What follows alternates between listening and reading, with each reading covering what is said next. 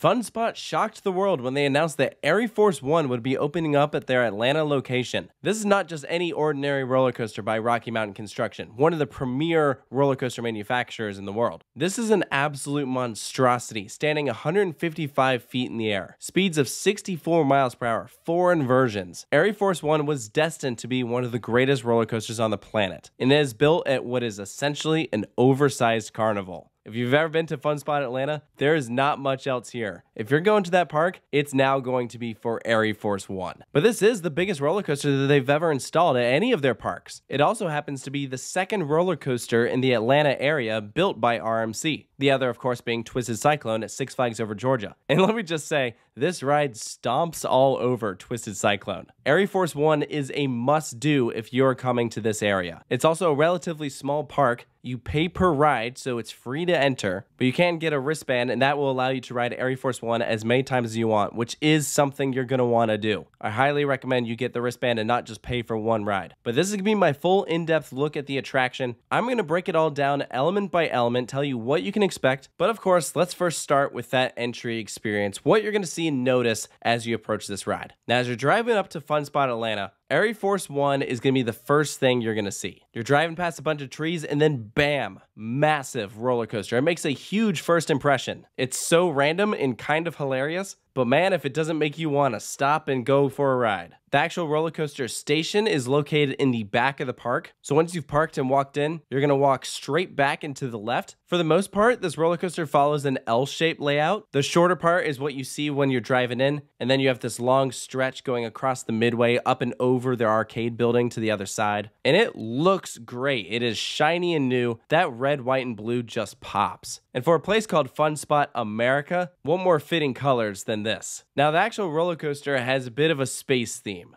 At least, sort of. The actual name is, of course, a play on Air Force One. But then when you're actually in the station in the queue, there's a bunch of references to like mission control, rocket fuel. When you dispatch, you hear liftoff sequence engaged, preparing for launch. And then as you come back in, landing complete, mission success. Like that strikes me as a space theme, but Air Force One implies planes. So I don't know. It's a bit of both, I guess. It is more theming than you would typically expect at a fun spot park. You know, it's not like we're Universal or even Cedar Fair level theming here. But frick, Air Force One has better theming than Pantheon does at Busch Gardens. So absolutely, it's better than I expected. I love these Easter eggs here on this whiteboard. You can see like RMC mentioned and a couple other cool things. And it's a great looking train too. It's only five cars long instead of the usual six. I did not get a confirmation on why that change was made. If I had to take a guess, it could be for cost. It could also be for capacity. It's not really necessary with this size of the park. Or it could just be with how this ride takes its elements it performs better with one less car. But ArieForce One does also have two trains. And when we were at Fun Spot, they're running two trains the entire time. I was there all throughout opening weekend, and even when it was a walk on, they definitely did not need to be running two trains, but they were. But as with most roller coasters, I do recommend riding this in the front and the back. A lot of people we talked to preferred the front over the back, which I totally get. And realistically, I probably agree with them. I think the main advantage to the back is the first drop, but all the other elements I, I do think I like more in the front. But try both out for yourself, see what you think. When you dispatch out of the station, straight away you have two little bunny humps Gives you a little pop of airtime, it's a taste of what's to come. As you start up your lift hill, for the first half, you're to be going at a pretty slow speed. This is because ArieForce One has a very short brake run, and so when it's operating with two trains, they have to wait for the train behind you to park in the station before your train is cleared to go throughout the layout. There's only room for one train on that brake run, so it's a pretty smart design, but I imagine if they operate with one train, it'll just go full speed the entire time. As you're climbing up, you'll see a bunch of trees to your right, there's the road to your left. If you look a bit further down, there's also a good chance that you'll see a bunch of planes landing at the Atlanta airport. They're always flying by. It's only about a 20 minute drive from FunSpot, which also makes it convenient if you're flying in for the weekend. Now, as you crest over this drop, you're going to descend 146 feet down to the ground, an 83 degree angle. So almost vertical. It sounds pretty impressive, but I'll be honest, I thought this was a pretty forgettable drop. And I know that sounds crazy. Don't get me wrong, in the back you will get some air. However, ArieForce One is full of a bunch of outstanding moments, and in my opinion, this is not one of them. I didn't hear anyone throughout opening weekend raving about, oh man, that first drop, you know? They're talking about moments later in the layout. But I can think of a bunch of other first drops on RMCs that I like a lot more than ArieForce Ones. So just think of it like the ride's just getting started. Your first big element is the Raven Truss Dive. So think of it like a dive loop, but you're entering these boxy supports. The truss is the same design that RMC uses for like their lift hill. That's what gives that very minimalist look. So while normally you're riding on the outside of that, now you're inside. You get pretty close to some of those supports and it gives this like tunneling effect. For me, I did think that the front was better for this element, but again, I didn't think that this was like a standout moment on ArieForce. But it is very cool. I also like how you just slightly twist to the side, like laterally, and then as you dive down to the ground, you hit a bunny hump. And this I thought was an amazing moment of airtime. Probably one of the best speed hills I've ever experienced. Like I think about the speed hill on Steel Vengeance right after that first drop. This one's just way more powerful. And then you hit your stall. And this is just fantastic. It is so prolonged and you just hit this perfect zero G. You're just floating upside down. The entry and exit experience is just so fluid. Definitely one of the best stalls out there. Right up there with Zadra and Goliath at Great America. And in my opinion, this is really when the ride gets going. The beginning is good, don't get me wrong, but as you start to get towards the middle of this ride, it gets nuts. So next up is an outer bank turn that goes over the station, and this is just incredible. Absolutely one of the highlights of the ride. It lasts for so long and banks you at about a 60 degree angle, which is pretty steep. You are ejected the entire time. It lasts about a second or two longer than you would expect. If this isn't the best outer bank turn out there, then it's got to be at least top three. The ejector airtime is just so far sustained, it is fantastic. And next up, we have a double up. So the first step up into this larger airtime hill is good. You go up out of your seat a little bit, but the main kicker here is the second up or that larger hill. And really, this is like the second big drop on the ride because as you're going over this hill, you're descending for what feels like forever. This gives you more airtime than the first drop. It honestly reminds me of the last drop on Iron Gwazi. How that feels like the second biggest drop on the ride, and it's literally into the brake run. So this one is right smack in the middle of the coaster, and you go from a high moment on the coaster now to a low one. This next element goes directly over a building. It's technically a zero G roll, but everyone at the event was calling it the arcade roll because it goes over the arcade. And I like that, so I'm gonna call it the arcade roll.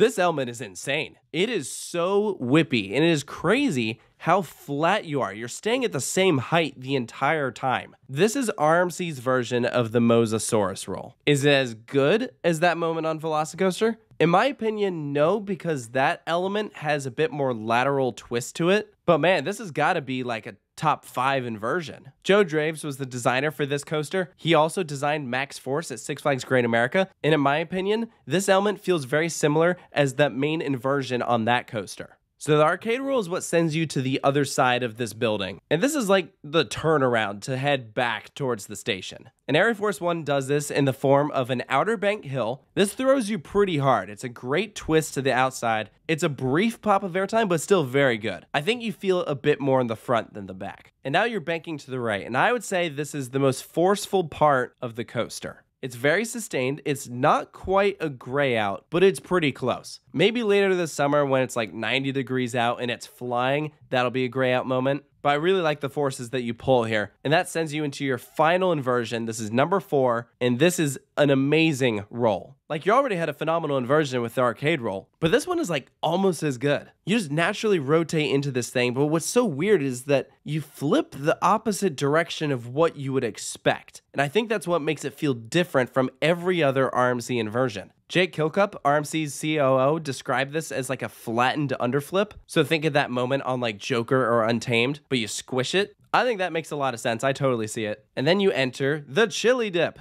because there's already so many hilarious names on RMCs. Now we got one more. This is an Alan Schilke's coined term that you see when snowboarding. Basically, it's when you rise up onto an elevated surface, dish out, and then drop down again. So in this case, you're banking to the left, you level out, drop down a little bit, and that's what sends you into your quad down. And this is the big finale on ArieForce One, and the airtime is so powerful, it hurts it actually feels like a bucking bronco. You got to prepare yourself for this. And you know, as we were talking to people, it seemed like everyone was split down the middle on what they thought of it. There were a lot of people who liked it, but then there were also a lot of people who thought it was too much. So it seems like this is the limit of what people can experience when it comes to airtime. Because when this was first announced, we were like, oh my gosh, a quad down, it's to be like the quad down on Lightning Rod. You know, when it's going down the mountain, but it's also twisting side to side. Well, this, there's no laterals at all. You are straight in a line, almost like the ending on Steel Vengeance. Except on ArieForce 1,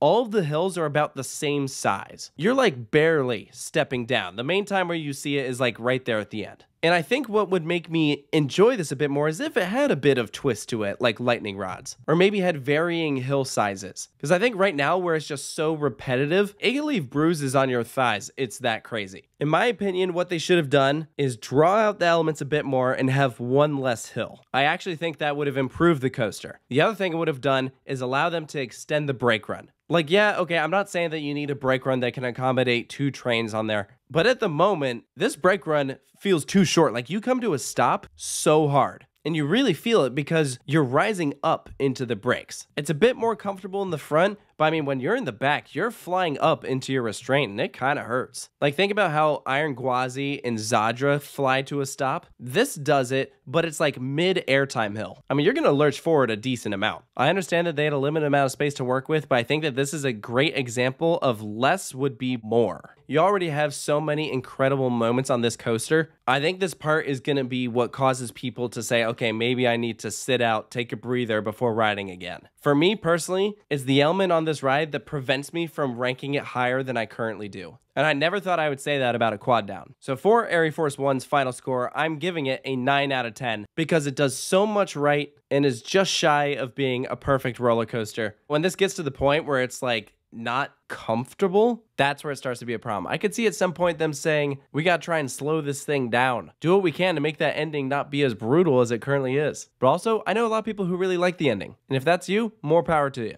But for me, I thought it was too much. But you know, despite all that, I still put this as an upper tier RMC. That's how good everything else is. And you know, it's also rare that you say the best moments of the ride are in the middle, not right at the beginning or not right at the end. So I really commend the folks at RMC for all the work they put into this thing. It really is a great coaster. I highly recommend you come out to Fun Spot Atlanta, give it a try, let me know what you think. And if you've ridden ArieForce already, please comment down below. What do you think of it? Do you agree with the points that I brought up? And of course, make sure to stay tuned for more coaster reviews here at Coaster Studios, and I'll see you next time.